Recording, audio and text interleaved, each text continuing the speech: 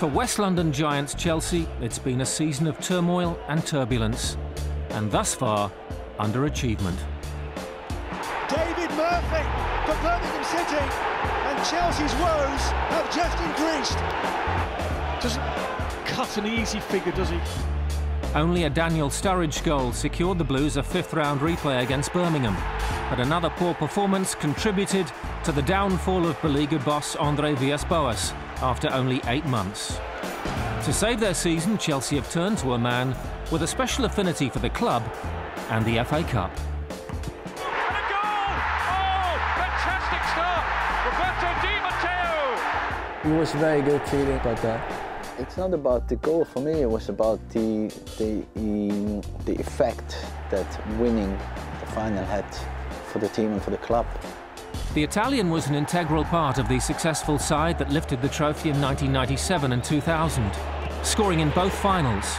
A decade later, Roberto Di Matteo is back in the Chelsea spotlight, facing what he calls the biggest challenge of his career.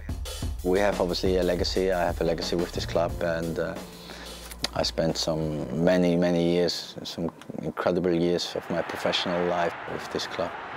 Di Matteo wasn't the only man on the score sheet in the 1997 final against Middlesbrough. Eddie Newton got Chelsea's second goal and now finds himself alongside his former teammate in the dugout.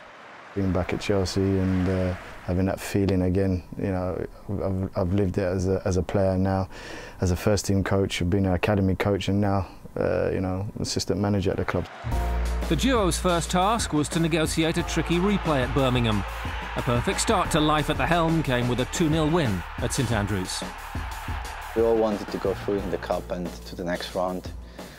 And I think it was a good performance, good solid performance, uh, good team performance. And I think there was an important message. The way the boys were after the game with the crowd, you could see the, the boys are being through the pillar. So it meant an awful lot to get a win, to you know get that winning feeling back in the dressing room and uh, and start focusing towards positive results in the future. In the quarter-finals, Chelsea now faced the club who took them to a replay en route to that 97 success. Leicester City. Then we got brought back to the bridge. We couldn't break them down. They were resolute in defence, but then Erland went on one of those mad runs, and went down the middle. We got a penalty and we scored from the, the penalty. I'm not sure Leicester weren't too happy about it, but we got the penalty, got through. Middlesbrough's losing captain back in 97, Nigel Pearson, is now the Leicester manager. While Chelsea pray that Fernando Torres can rediscover his goal-scoring spirit, Pearson has a striker revelling in the cup.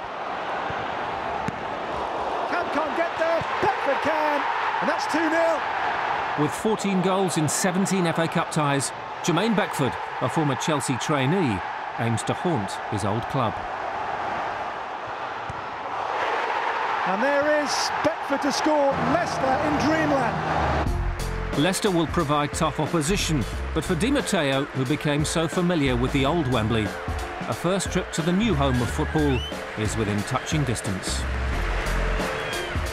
You know that it's a, it's a big game because they, you know, they show it all over all over the world. Robbie and myself have got a legacy here. You know, we you know we've made little bits of history. You have to get through, you know, whatever it takes. We want to be part of the success again. You know, we've got a massive opportunity, and we're, we're taking it and embracing it with both hands. And you know, we're going to work hard to, to get there and work with the boys and do everything within our power to help them succeed.